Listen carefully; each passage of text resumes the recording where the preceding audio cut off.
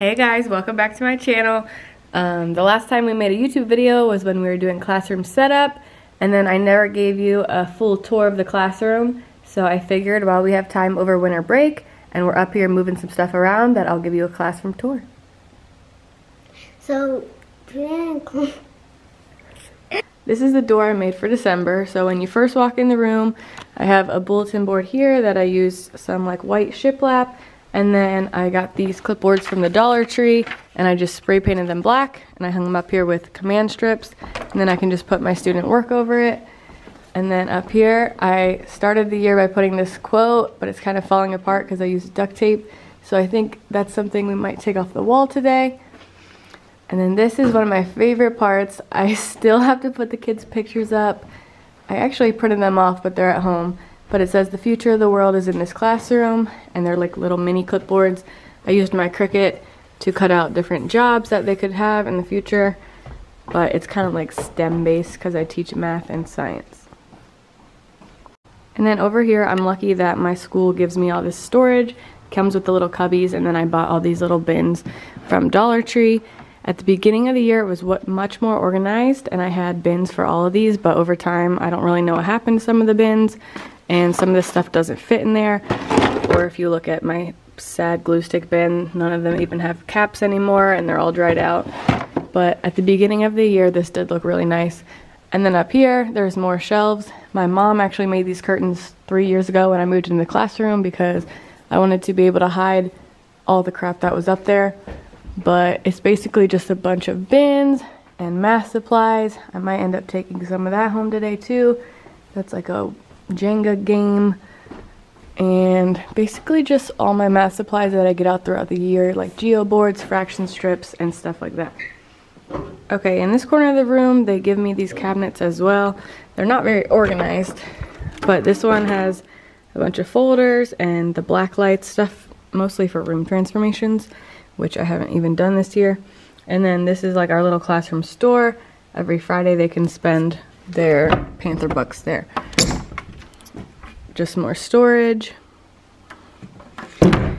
And then the secret candy drawer that the kids definitely steal from because this was full at like Halloween and now it's just all the gross candy left. Then up here I have more space for student work. I just used the clipboards. I didn't spray paint these. I just used paper to kind of cover them up. I need to hang some stuff up here. And then this is our morning work or like our problem of the day. I wrote math talk and then um, these you can switch out. So right now it says what time does the clock show, how much money is there, underline the place value, and then I'll write a multiplication um, equation on here and they have to show me the strategy. So they just have a little paper where they do four problems in the morning. This is my stage that my uncle built. It's kind of um, split in the middle right now because there's stuff in the middle of it. I need to clean that out. But the best part about it is the storage under here. I have a bunch of yarn and random stuff that needs to be cleaned out. But the storage really comes in handy because I have tons of crayons and just different supplies. In the other one, this is all like my STEM stuff that they were using to build sleds right before we left. I need to put it away.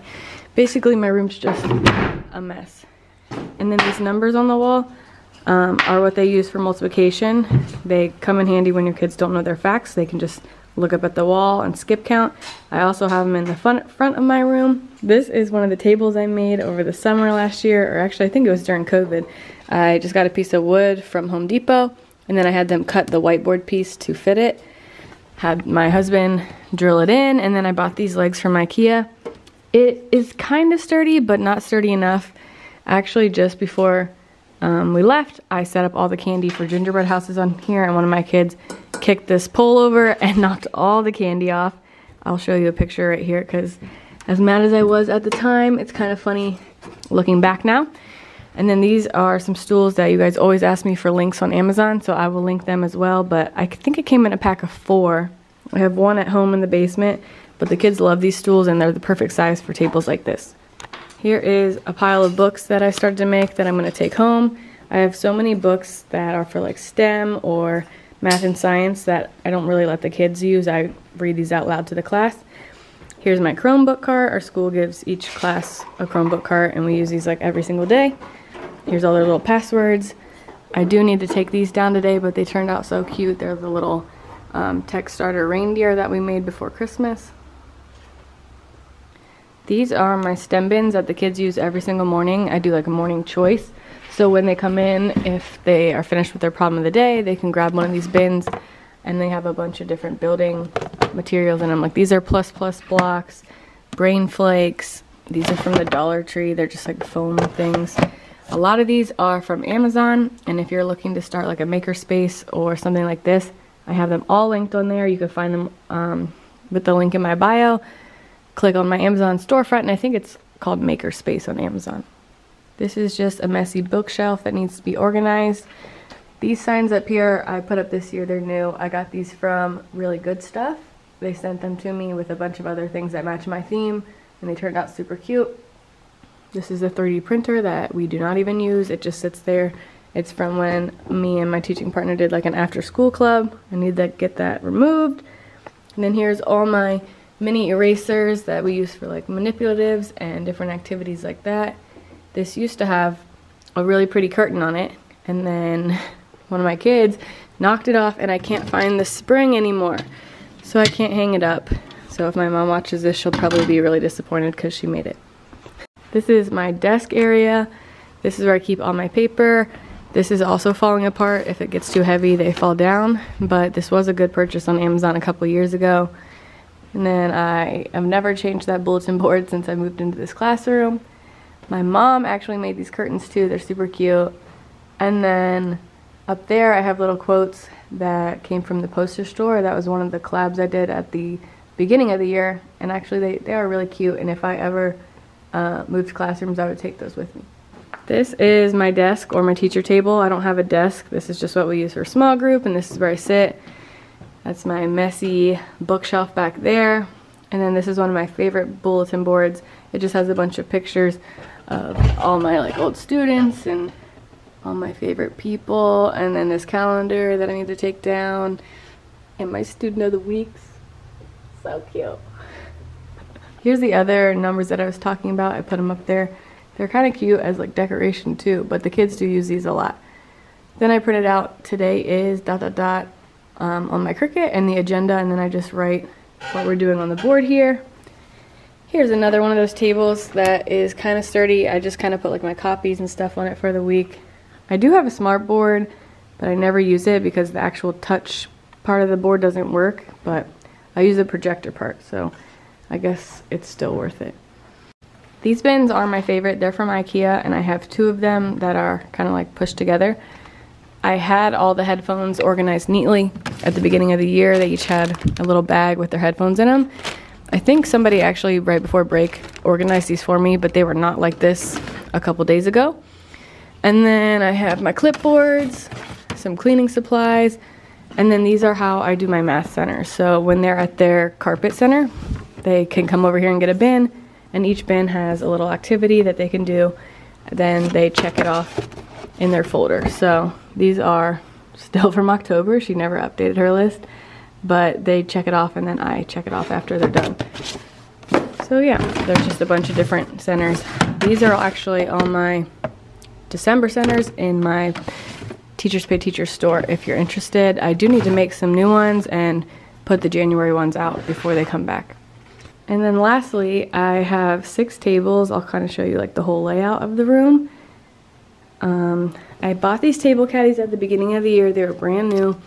And I had like all the sharpened pencils in this one, all the whiteboard markers, brand new little erasers. This doesn't even have the felt on it anymore. And then I had packs of crayons. But the crayons were so broken and so disgusting that I threw them all away. And then I bought some twistable ones that are over here and they have to like sign them out now. So if they want to use crayons, they can come over and then they have to turn them back in looking just like this because I'm tired of buying packs of crayons and then they break and they just don't treat them right. So now we have these. And while we clean up, Mary's over here looking at her grades. Can you even see them? All A's and B's. Go girl!